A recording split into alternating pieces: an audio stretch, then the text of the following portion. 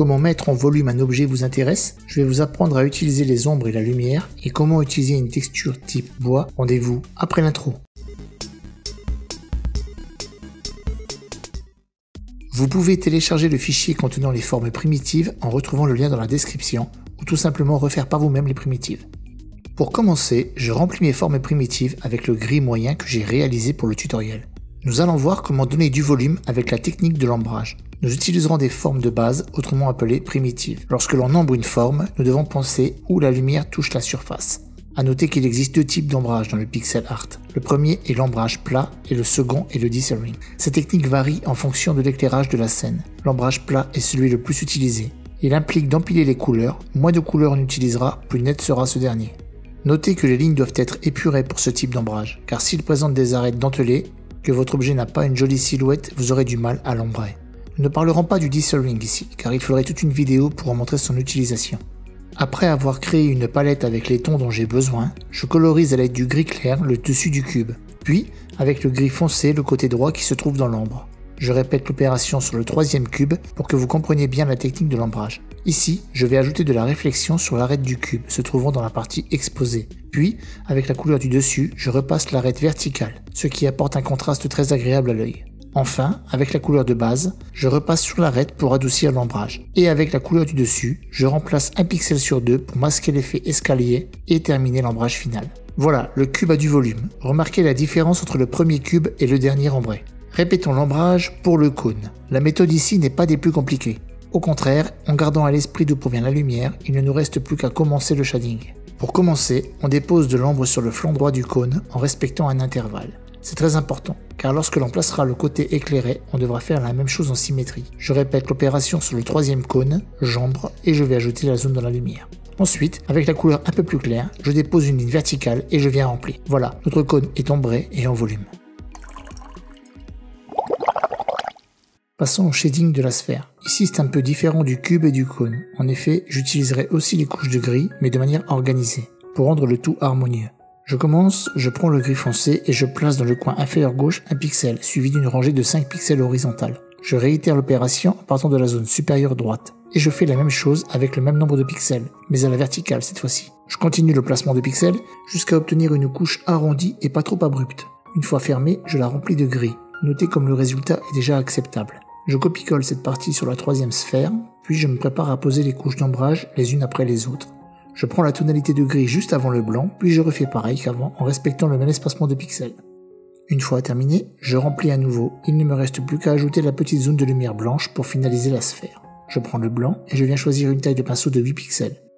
Il ne me reste plus qu'à déposer un point dans la zone supérieure gauche et l'ombrage de la sphère est maintenant terminé.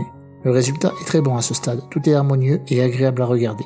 Nous allons ensuite ombrer le cylindre. Il suffit de placer une ligne verticale de couleur grise foncée, puis de déposer le gris clair au-dessus pour avoir déjà une idée de l'ombrage final. C'est bien, mais ça pourrait être meilleur. C'est ce que nous allons tenter de voir sur le troisième cylindre. En répétant la même étape que précédemment, j'affine le résultat en venant repasser l'arête de dessus en blanc jusqu'à la moitié pour atténuer le noir et fondre les couleurs. Avec le gris du dessus, je termine la ligne pour bien faire correspondre le gris foncé et ne pas avoir une transition trop brute. Toujours avec la couleur du dessus, je viens faire une ligne verticale dans la zone de gauche sans aller complètement au bord, puis je refais la même chose en partant du milieu et en descendant également. Enfin, je remplis pour rendre le tout homogène. Et voilà, le cylindre parfaitement mis en volume. Comparez les trois versions pour bien vous rendre compte. Afin de clore l'exercice d'ombrage, nous allons finir avec la pyramide, qui est une des plus simples à ombrer selon moi. Tout dépend bien entendu d'où provient la source lumineuse, mais là pour le coup c'est assez simple. Comme vous pouvez le voir, du gris clair à gauche, du foncé à droite. Passons à la troisième pyramide et partons de la même manière qu'avant, sauf que nous allons ajouter une simple ligne blanche et ainsi terminer l'exercice sur l'ombrage. Je vous invite personnellement à refaire cet exercice avec des provenances de lumière par le dessous, par derrière, etc. Histoire de ne pas terminer ainsi, je vous ai préparé un petit exercice à refaire ensemble. Je vais réaliser une texture de bois et j'utiliserai les couleurs pour les répercuter sur les primitives. Je fais un nouveau document de 32 x 32 pixels. Je prends une couleur de base à l'aspect marron et je remplis le document. Une fois terminé, je sélectionne une couleur plus foncée, mais toujours dans le marron. Je vais venir réaliser les lignes qui vont permettre de créer les séparations pour les planches. Je détaille avec des petites zones d'usure et pour parfaire le plancher, je prends une couleur marron plus claire que celle de base et je place des reflets dans la zone supérieure de chaque lame. Une fois satisfait du rendu, grâce à la petite visionneuse pour le rendu final, je continue en ajoutant une ligne de renforcement plus foncée encore qui remonte par les lignes de séparation de départ. Enfin, je viens ajouter encore un peu de lumière dans les zones déjà lumineuses. C'est important de se documenter sur l'apparence de texture que vous désirez reproduire. Il me suffit de détailler encore un peu l'apparence du bois avec des zones tachées par le temps. Il faut simplement les placer correctement et de manière coordonnée pour ne pas altérer l'ensemble de la texture. Nous en avons terminé avec la réalisation d'une texture type plancher qui serait en l'état tout à fait utilisable dans vos jeux. Mais pour le coup, j'ai envie de vous expliquer comment utiliser sur des primitives que nous avons vues au début du chapitre. D'ailleurs, nous terminerons l'exercice sur la création d'une bûche de bois, donc restez jusqu'au bout de la vidéo. De retour sur les primitives, je vais dans un premier temps ajouter les couleurs de la texture directement dans la palette actuelle. Rien de difficile ici, il suffit avec l'outil pipette de prendre une couleur de la texture, revenir sur la carte des primitives, déposer un petit carré de 4x4 pixels par exemple, et de refaire l'opération autant de fois que nécessaire. Une fois que toutes les couleurs sont déposées, cliquez sur le petit hamburger et choisissez Create Palette from Current Sprite ce qui aura pour effet d'ajouter les couleurs de bois à la palette actuelle. Une fois terminé, vous pouvez supprimer les échantillons de couleurs et passer à la réalisation du bois sur les objets.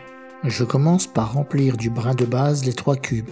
Il me suffit de repasser les contours de gris par les tonalités de brun correspondantes, vous l'aurez deviné.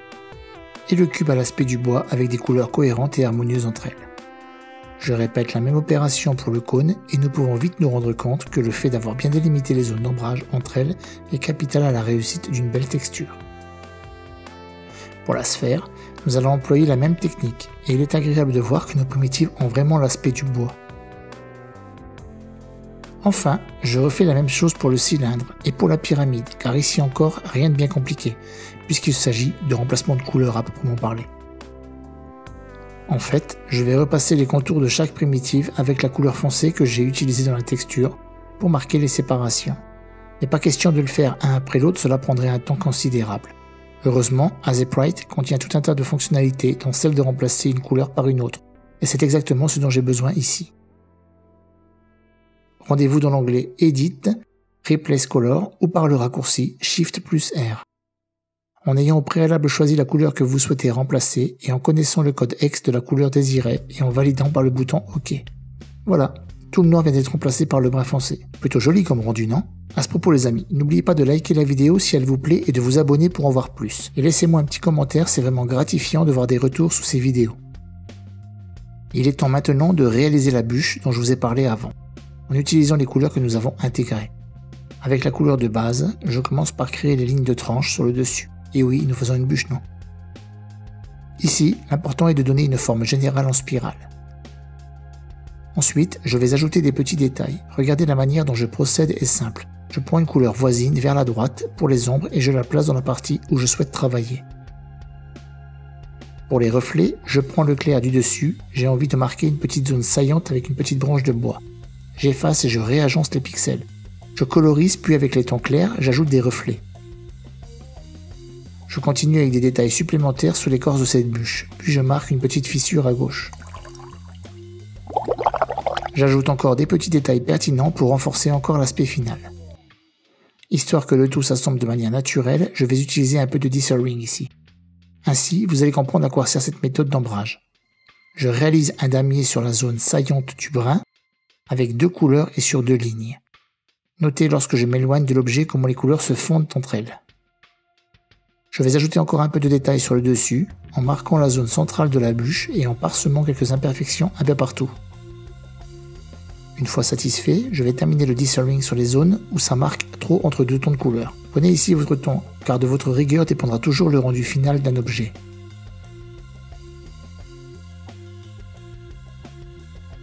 Nous en avons terminé avec le shading, autrement dit l'ombrage. Il ne me reste plus qu'à vous souhaiter de belles réalisations. N'hésitez pas à me donner vos retours dans l'espace commentaire. Merci d'avoir regardé cette vidéo, laissez-moi un pouce bleu si elle vous a aidé, abonnez-vous pour en voir d'autres, à bientôt, ciao